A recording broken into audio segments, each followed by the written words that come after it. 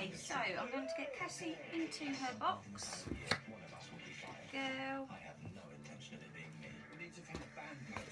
Good girl. So I believe now we are working on spinal flex flexion, flexors.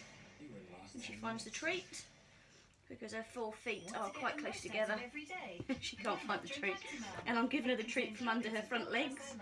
It's there. There it is. Good girlie. Hello. Good girl. Trying to make sure she's standing up rather than sitting on the edge of the box, which she's very good at doing. There's a good girl. At the same time, we're doing some cervical flexion as well. Good girl. And then bringing it out of the box. A little jump at the back so her back legs do a little leap. Also working on extensors at the same time. Good girl. Are you all going to do it? Let's see. Out the Poppity.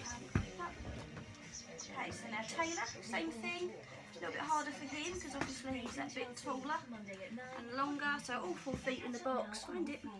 Good boy. And then bring him forward to work on the spinal extensors, uh, flexors, sorry, as well as cervical flexion. It's there. He's a good boy.